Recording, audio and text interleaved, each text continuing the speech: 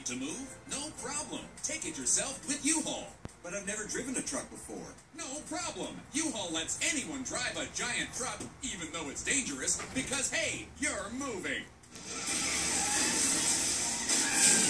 Sorry, I'm making a go of it in a new city.